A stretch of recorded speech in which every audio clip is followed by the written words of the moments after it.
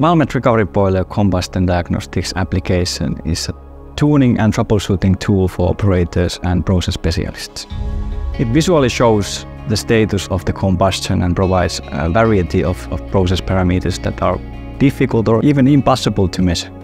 With the application, it's possible to maximize the availability and safety of the boiler, but also optimize the flue gas emissions and boiler efficiency. The tool uses physics-based simulations, namely computational fluid dynamics, or CFD, to model the fluid flow inside of the combustion inside of the recovery boiler.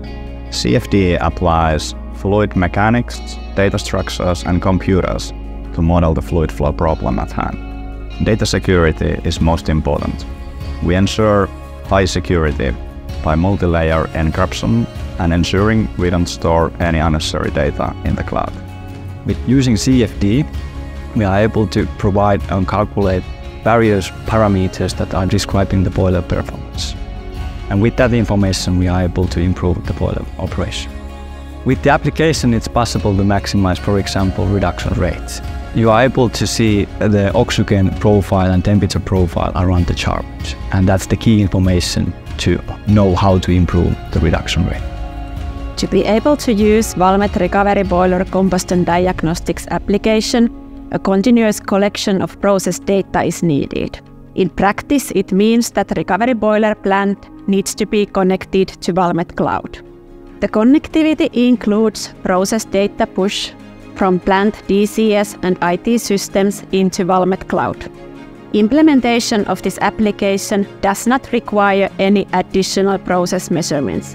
All in all, it's very easy to take this application for the use of operators and process specialists. All Valmet Industrial Internet applications are run from the customer portal, so customers and people from Valmet can directly access from, from the portal. With Valmet Performance Center, we can remote connect our network of specialists and provide fast remote support to our customers. I think that the tool will be used more and more in recovery boilers. For example, during the last decade, the calculation costs in the cloud have reduced almost 20% each year, which means that at some point it will be feasible to run the boiler calculations all the time and then we can have a continuous follow-up. I think this will be the industry standard.